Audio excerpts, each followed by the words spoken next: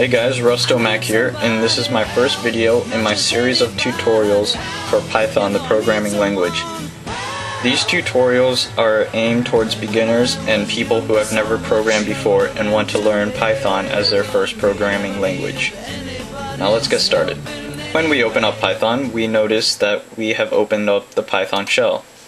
Now in the Python shell, we are able to run and execute programs, write them as well, but we are not able to save programs. This is why I recommend going to File, New Window, and in this new window we are able to write programs as well as save them, but not execute them.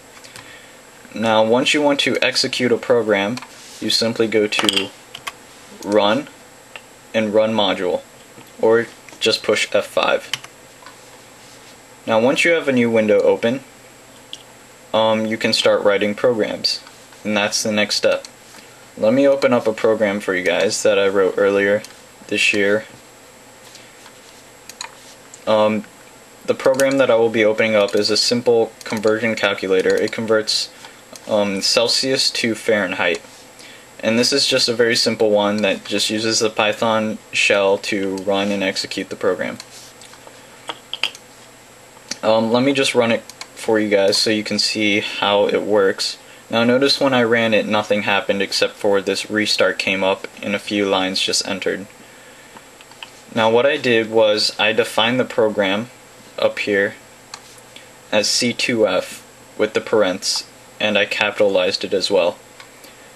That means um, this program is in the Python shell archive and all I need to do is recall it or bring it out. So what I do is I just type in the program name and I push enter. Now the program starts to run and it asks me a question or demands an answer I guess, an input enter degrees in Celsius. So let's just put 23 and on the next line it says 23 Celsius equals 73.4 Fahrenheit. Now we can just run this program as many times as we want just by typing it in like so or going up to the line above and pushing enter. Let me finish this one and just go up here, push enter, and you can run it again. Okay, now that we have seen how the program runs, we can try to write them.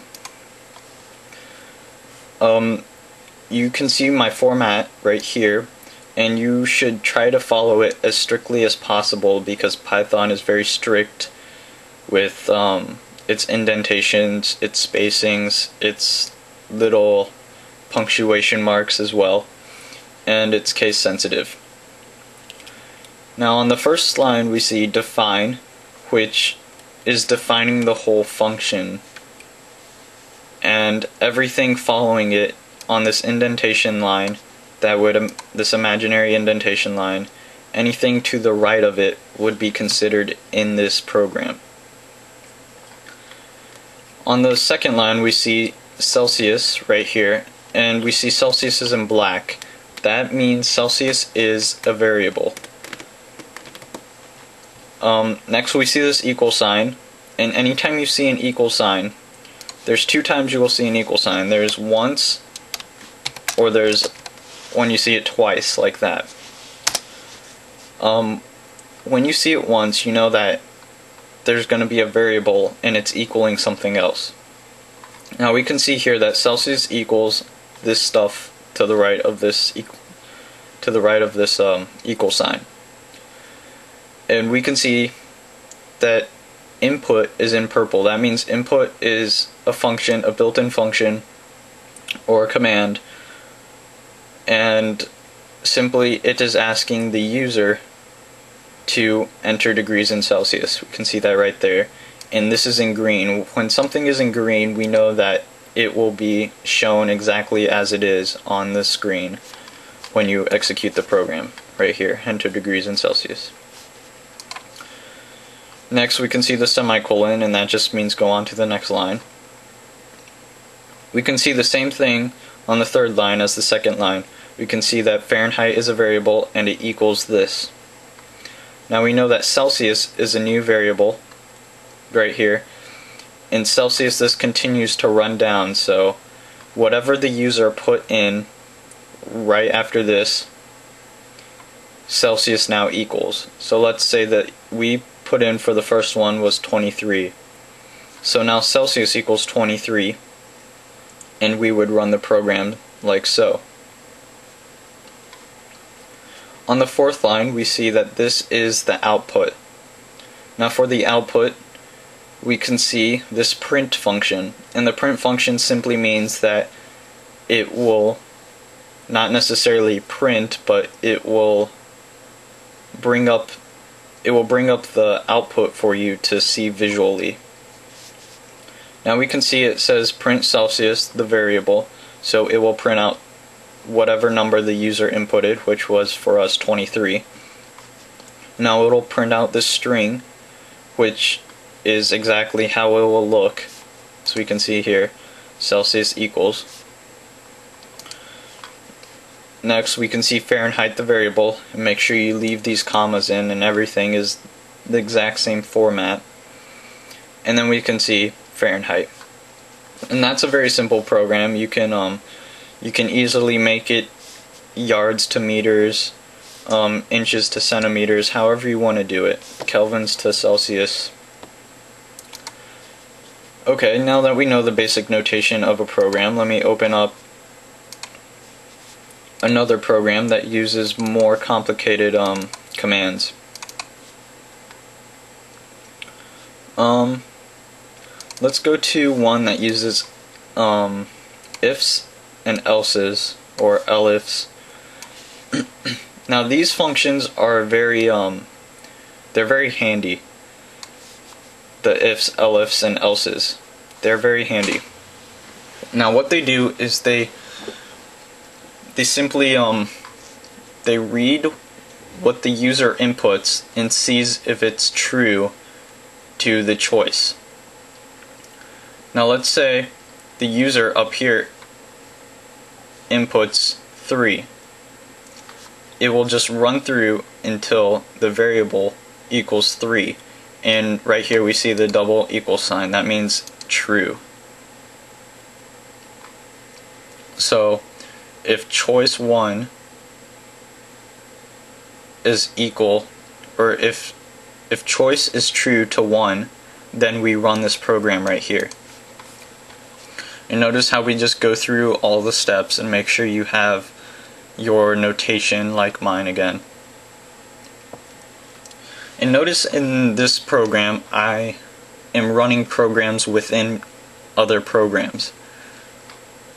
Um, my first example is this display menu program which I wrote right up here and you are able to do that write a program and then recall it within another program. And so in my define display menu program, it simply just prints out all these numbers and essentially this menu. And then people can choose which one they want out of this menu and then it runs whatever program they have chosen.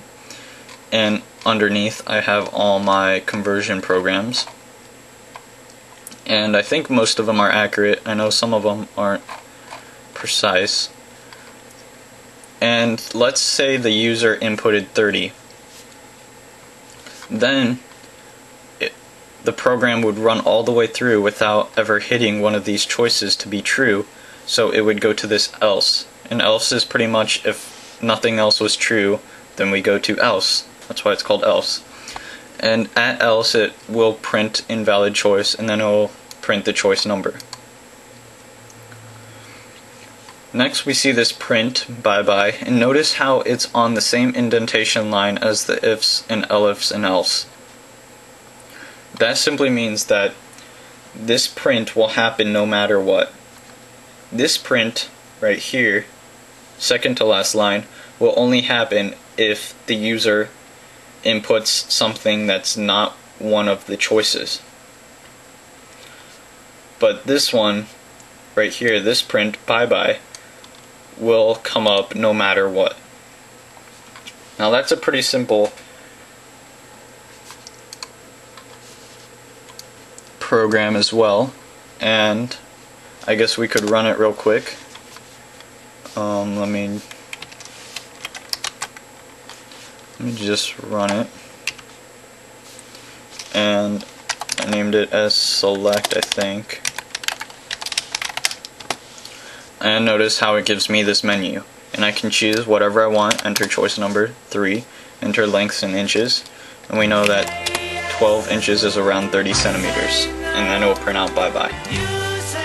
So that was my first tutorial out of my series of tutorials. I'm hoping to get more advanced later on, but I wish you guys would comment to let me know what I should make my video, my next videos about. Thanks.